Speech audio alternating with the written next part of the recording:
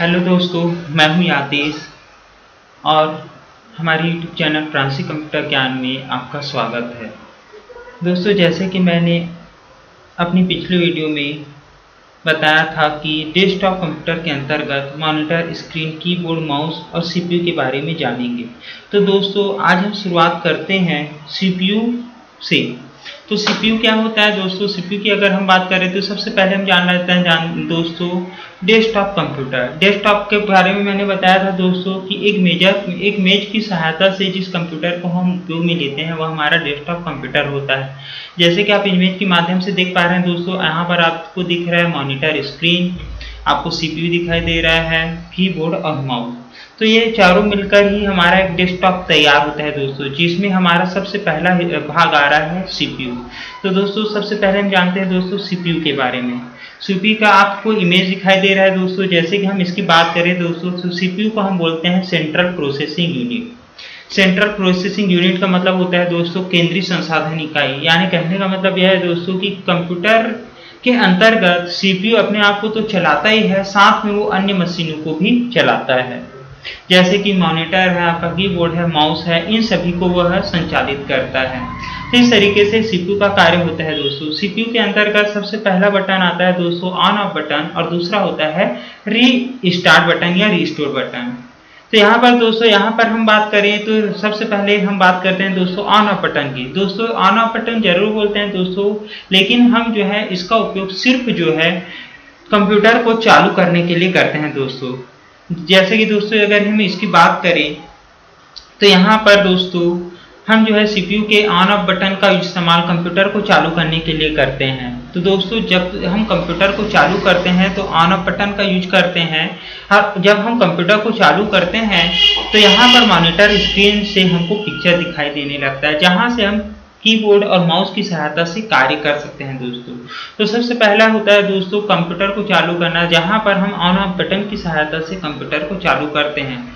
और दूसरा यह है दोस्तों कि जब हम कंप्यूटर को बंद करते हैं तो ऑन ऑफ़ बटन को प्रेस नहीं करते हैं दोस्तों। इसके लिए दोस्तों हम हमारे कंप्यूटर के स्टार्ट बटन में जाते हैं और स्टार्ट बटन में जाने के बाद यहाँ पर शट डाउन ऑप्शन को क्लिक करते हैं। तो जहाँ से दोस्तों हम कंप्यूटर को ऑफ़ भी कर सकते हैं। डायरेक्टली दोस्तों हम पावर बटन को ऑफ़ नहीं करते हैं दोस्तों। इससे जो है कंप्यूटर को नेगेटिव इफ़ेक्ट पड़ता है और कंप्यूटर जल्दी खराब हो जाता है। दूसरा होता है दोस्तों हमारा रीसेट बटन या रीस्टार्ट बटन दोस्तों, जब कभी हम कंप्यूटर से काम लेते हैं तो कंप्यूटर भी एक मानव की तरह थक जाता है। यानी जब हम अधिक समय तक कार्य कराते हैं कंप्यूटर को तो वह जो है थकान महसूस करता है। ऐसी स्थिति में कंप्यूटर से पुनः कार्य लेने के लिए हम कंप्यूटर को रीस्टार्ट करते हैं दोस्तों। इसके बाद आता है दोस्तों हमारा कंप्यूटर के अंतर्गत दो लाइटें होती हैं दोस्तों, एक ग्रीन लाइट होती है, दूसरा होता है रेड लाइट जब कंप्यूटर को हम चालू करते हैं तो दोस्तों तो यह कंप्यूटर में हमारे ग्रीन लाइट की जानकारी को बताता है, यानी ग्रीन लाइट जल जाता है। या इस स्थिति को बताता है दोस्तों कि हमारा कंप्यूटर चालू है, यानी कंप्यूटर को जब हम चालू करते हैं और जब तक हम बंद नहीं करते हैं, तब तक यह लाइट जलते रहता है, यानी कंप्यूटर अपनी ऑन पोजिशन की स्थिति को बताता है। यहाँ पर दूसरा लाइट होता है दोस्तों रेड लाइट जब हम कंप्यूटर को कोई निर्देश कमांड देते हैं तो दोस्तों यह क्या होता है दोस्तों की लाइट जलता है और जलने के बाद क्या होता है दोस्तों यह बंद हो जाता है। तो यह दोस्तों हमारी कंप्यूटर की जानकारी जिसके अंतर्गत अब दोस्तों हम अगर देखें तो सीपीयू हमको दिखाई दे रहा है लेकिन इसको हम दोस्तों कैबिनेट बोलते हैं। इसको मैं दोस्तों यहाँ पर गूगल में जाकर आपको दिखाने का प्रयास करता हूँ। जैसे कि दोस्तों आप यहाँ पर एक इमेज को देख रहे हैं। देख आप देख पा रहे हैं दोस्तों कि यहाँ पर हमारे सामने एक सीपीयू दिखाई दे रहा है, जिसको हम बोलते हैं दोस्तों कैबिनेट इसके अंदर हमको एसएमपीएस मिलता है, जो पावर सप्लाई दे, करता है। जैसे कि दोस्तों, हम मेन बोर्ड से पावर लेते हैं सीपीयू में। तो ये पावर जो है दोस्तों, यहाँ पर आता है एस की सहायता से। एस यानी होता है दोस्तों स्विच मोड पावर सप्लाई यानी एक्चुअल वोल्ट प्रदान करता है दोस्तों। उसके बाद आता है दोस्तों यहाँ पर मदरबोर्ड प्रोसेसर, रैम, आपका डीवीडी राइटर, हार्ड डिस्क और आपका यहाँ पर CPU fan, floppy disk drive और सिस्टम फ़ैन। आदि सभी डिवाइसें मिलकर एक सीपीयू तैयार करता है दोस्तों।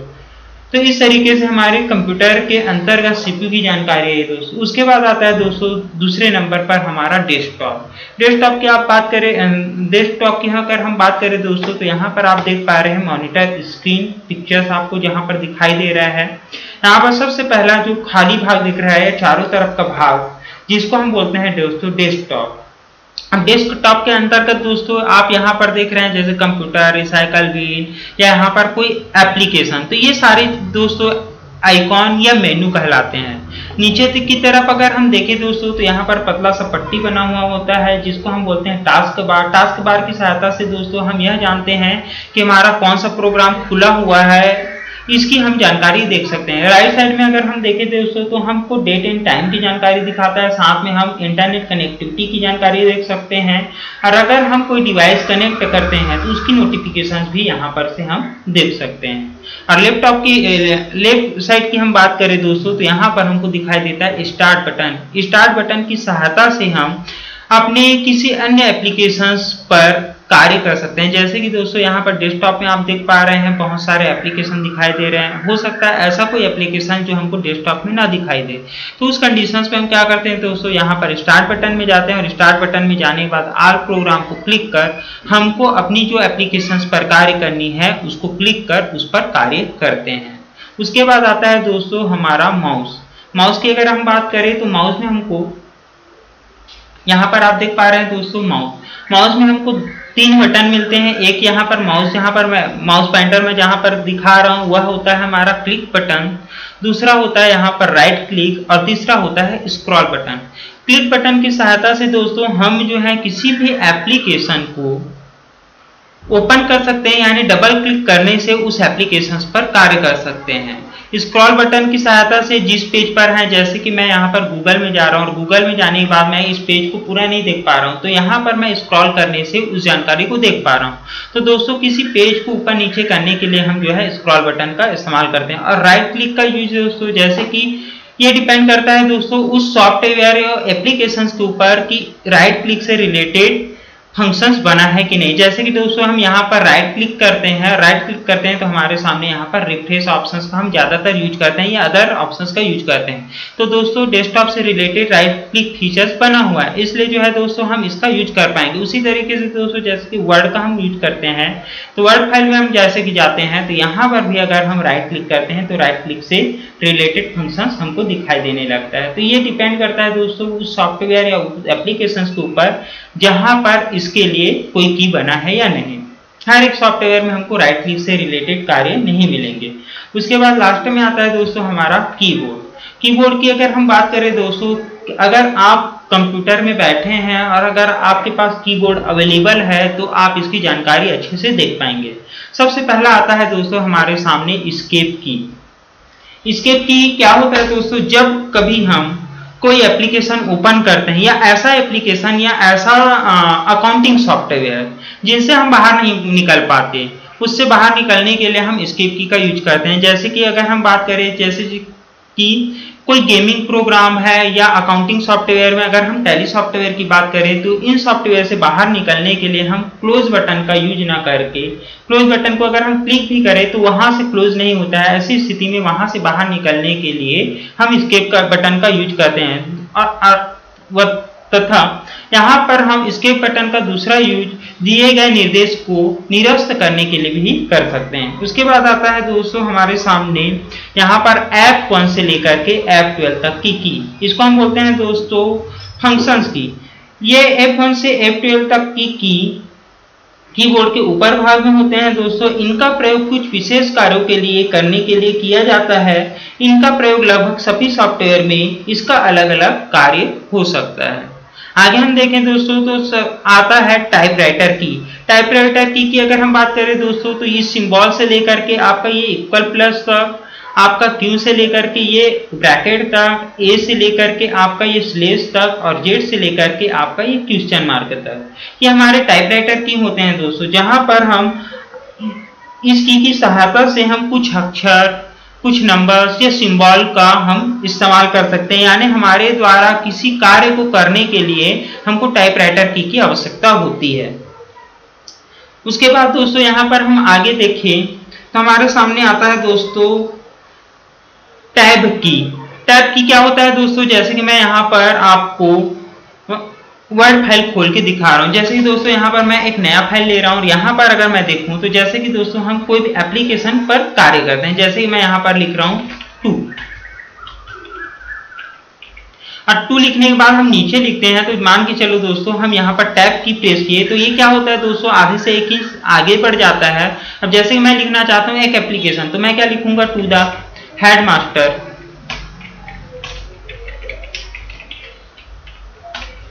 इस तरीके से मैं टाइप कर सकता हूँ दोस्तों। तो आधे से एक इंच दूरी बनाने के लिए हम जो है टैप की का यूज़ करते हैं। उसके बाद आता है दोस्तों caps lock key caps lock key का दोहरा यूज़ होता है दोस्तों, जैसे कि अगर हमने कैप्स लॉक की को प्रेस किया, जैसे कि यहाँ पर मैं वर्ड की सहायता से बताने का प्रयास करता हूँ। अगर मैंने कैप्स लॉक की को प्रेस किया तो यहाँ पर हमारे कीबोर्ड का सेकंड लाइट जलना चालू हो जाएगा और हम अंग्रेज़ी के बड़े अक्षरों में टाइप कर पाएँगे दोस्तों।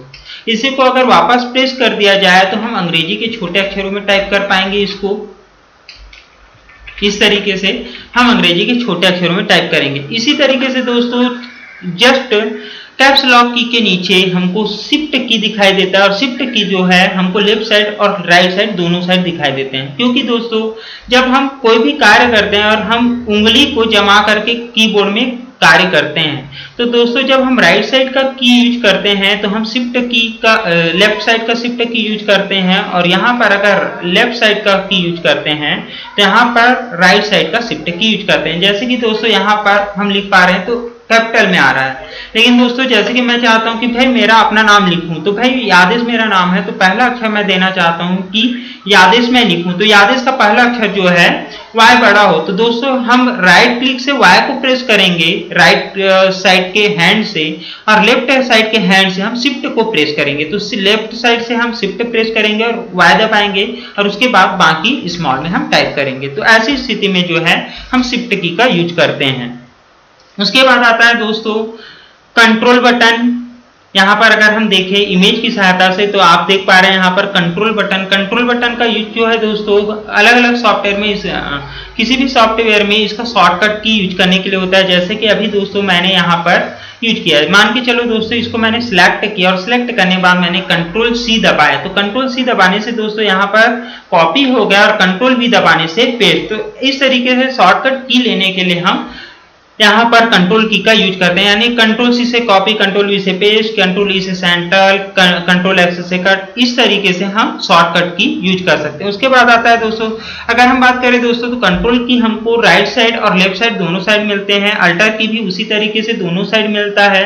और यहाँ पर आप देख पा रहे हैं दोस्तों विंडोज़ की कंट्रोल की के बाद आता है दोस्तों, यहाँ पर विंडोज़ की तो विंडोज़ की क्या होता है दोस्तों, जब हम मान के चलो माउस की सहायता से हम किसी एप्लीकेशन को नहीं चुनना चाहते, जैसे कि यहाँ पर स्टार्ट बटन में आए और स्टार्ट बटन में आने के बाद किसी एप्लीकेशन को हम चुनना चाहते हैं। पर हम चाहते हैं दोस्तों कि यहाँ पर जो है, हम कीबोर्ड की सहायता से किसी एप्लीकेशन को ओपन करें। तो हम विंडोज़ की को प्लेस करेंगे और विंडोज़ की को प्रेस करने के बाद हम एरो की सहायता से उस उस एप्लीकेशंस को ओपन कर सकते हैं। तो इस तरीके से भी हम कार्य कर सकते हैं दोस्तों। उसके बाद आता है दोस्तों अल्टर की अल्टर की का यूज़ जो है दोस्तों, यहाँ पर आप देख पा रहे हैं अल्टर की यहाँ पर भी दिखाई दे रहा है यहाँ पर भी अल्टर की दिखाई दे रहा है। अल्टर की का यूज़ जो है दोस्तों, किसी भी भाषा में आप टाइप कर रहे हैं या डेटा वर्क कर रहे हैं तो शॉर्टकट में कोई कार्य करने के लिए, जैसे कि दोस्तों यहाँ पर मैं अल्टर दबाया और अल्टर के साथ राइट साइड का नंबरिंग की मैं प्रेस करता हूँ अल्टर मैंने दबा और यहाँ पर मैंने ज़ीरो एक सौ पच्चीस टाइप किए। तो कुछ अक्षर यहाँ पर आ रहे हैं दोस्तों, जैसे कि यहाँ पर कुछ सिंबल तो इस तरीके से जब हमको कोई सिंबल या कोई ऐसा अक्षर जो हमको कीबोर्ड की सहायता से नहीं मिल पा रहा है, उस स्थिति में लाने के लिए हम इसका इस्तेमाल करते हैं। उसके बाद आता है दोस्तों हमारे सामने यहाँ पर स्पेस की स्पेस की का यूज़ जो है दोस्तों यहाँ पर स्पेस देने के लिए होता है। यानी दो शब्दों के बीच एक निश्चित दूरी बनाने के लिए जो है हम कीबोर्ड का स्पेस की का यूज़ करते हैं। उसके बाद आता है दोस्तों यहाँ पर back space key back space key की बात, अरे में अगर हम बात करें दोस्तों तो यहाँ पर जो है सबसे पहले आता है। यहाँ पर जैसे कि मैं वर्ड में जाता हूँ और वर्ड में जाने के बाद मैंने मान के चलो यहाँ पर कोई भी कार्य किए। ठीक है, मैंने यहाँ पर लिखा देवांगन। ठीक है दोस्तों, अब यहाँ पर हो सकता है देवांगन की जगह में मैंने गलती से यहाँ पर ए नहीं लगाया तो दोस्तों, मैं सुधार करने के लिए बैक स्पेस की को प्रेस करूँगा और ए दबा करके एन दबा दूँगा। तो यहाँ पर क्या होता है दोस्तों, एक तरीके से एडिट करना। तो हमारे द्वारा लिखे, गलत लिखे गए शब्द को सुधारने के लिए हम बैक स्पेस की का यूज़ करते हैं। उसके बाद दोस्तों, यहाँ पर इंटर की और यहाँ पर भी आप देख पा रहे हैं इंटर की इंटर की का यूज़ जो है दोस्तों, एक लाइन से दूसरे लाइन में आने के लिए होता है। जैसे कि यहाँ पर हमने कर्सर को रखा। अब यहाँ से हम दूसरी लाइन में जाना चाहते हैं तो इस तरीके से जो है हम दूसरी लाइन में भी जा सकते हैं। तो इसके लिए हम इंटर की का यूज़ करते हैं। यहाँ पर एक और की बच गया दोस्तों। यहाँ पर आप देख पा रहे हैं एक की इसको हम बोलते हैं दोस्तों माउस पैंटर की जैसे कि मैंने आपको बताया था कि माउस का राइट क्लिक बटन यूज़ करने से हम जो है राइट क्लिक से रिलेटेड फीचर्स का उपयोग कर सकते हैं। इसी तरीके से दोस्तों अगर हम कीबोर्ड का माउस पैंटर की प्रेस करें तो राइट क्लिक से रिलेटेड जो फीचर्स खुलता है, उसके हम उपयोग में ले सकते हैं। आज के लिए दोस्तों इतना ही। आगे की वीडियो में हम और भी जानकारी जानेंगे। अगर आपको ये वीडियो अच्छी लगे तो हमारे फ्रेंसी कंप्यूटर ज्ञान चैनल को लाइक करें, अपने दोस्तों के साथ शेयर करें, व हमारी नोटिफिकेशंस को पाने के लिए हमारे चैनल को सब्सक्राइब करें, व बेल आइकॉन को क्लिक करें। धन्यवाद दोस्तों।